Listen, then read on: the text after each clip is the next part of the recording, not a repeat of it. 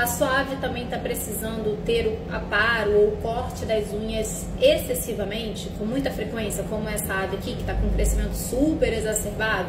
Se está acontecendo isso com ela, o que eu tenho para dizer é o seguinte: ela está doente, com toda certeza. Não é comum a gente precisar é, cortar com muita frequência a unha dos animaizinhos por estarem crescendo tão grande assim. Tanto a unha quanto o bico, tá? Às vezes um animal nunca teve o bico muito grande e depois do nada começa a crescer. Isso é muito comum, inclusive, também com psitacídeo, com papagaio, com calopsita.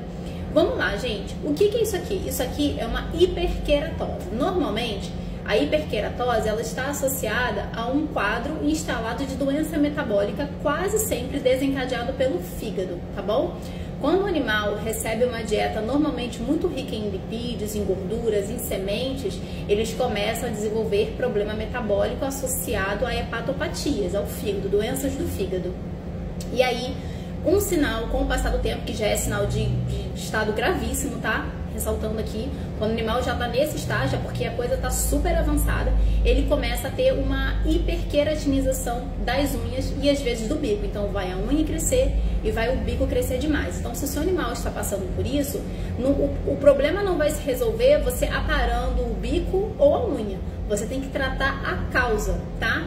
E lembrando, o animal no estágio desse aqui está sofrendo risco de inclusive vir a óbito. Então, se o seu, se seu bichinho está assim, leva logo para o veterinário, tá bom? Porque ele está doente.